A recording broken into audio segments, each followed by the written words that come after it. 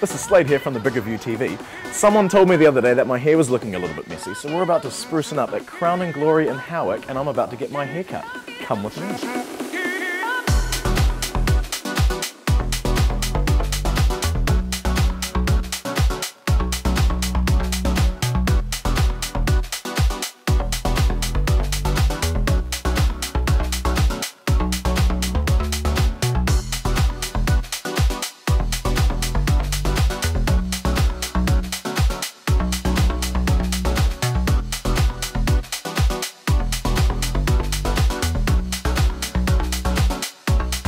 Came in today looking shabby and I'm walking out feeling chic.